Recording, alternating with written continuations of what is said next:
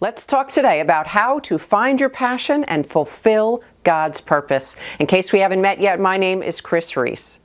Do you feel lost, as if something is missing from your life? Do you frequently wonder if this is all there is? Well, you're not alone. Many people go through life hoping and praying that they land someplace happy, but most fall short. I was all too familiar with these feelings. I would frequently say, God, there's got to be more than this. You see, I was living a good life, but I wanted more. So I kept striving for more more accolades, more money, more vacations, but nothing was filling that void. Oh, it would temporarily do it, but it would always come back to that nagging question What am I here for? That was until I discovered what was truly missing from my life purpose. I was a hard worker who made good money. I had a great family, but I lacked a bigger purpose in life. So I set out on a mission. I was on a mission to find my purpose. And on that mission, I went through three phases. The first phase was discovery. In the discovery phase, I learned all about myself. Not the self that I pretended to be or that I molded myself to be, but the real me. Here is where I want to encourage you to learn all you can about yourself. My friend, you are fearfully and wonderfully made.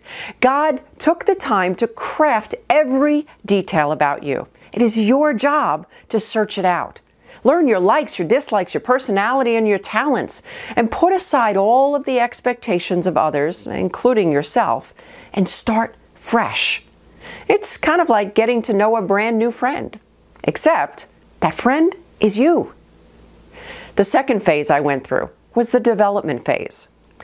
The Bible gives countless examples of how we are to continue to develop ourselves. It talks about developing our mind, our talents, our talk, among many other things. In this phase, you begin to grow in the areas of discovery. The development phase is unique to each person. Some may go back to school, others may spend months in counseling to get healing for past pain. Maybe you hire a coach to help you learn a new skill, or you take the time to get to know God in a way that you've never experienced before. Whatever it is that you need to develop personally, professionally, and spiritually, do it. You are worth the investment. The third phase was the design phase. This is my favorite part. But in the past, I would make the mistake of trying to design a plan before I discovered who I was and where I was going. It's a lot like putting the cart before the horse. Well, maybe you're like me and you love to set goals. That's great because you are going to love this phase. But you'll only succeed in the design phase after you've laid the foundation of discovery and development. Once you've discovered yourself, made the commitment to develop, now you can begin to set the plan in place to take your purpose from concept to completion. It's time to take action.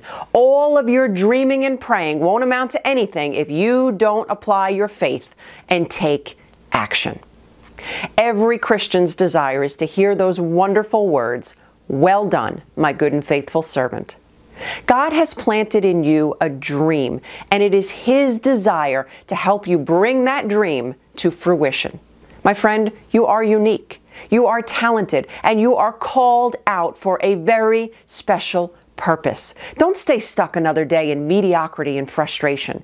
Take the steps necessary to fulfill your God given purpose.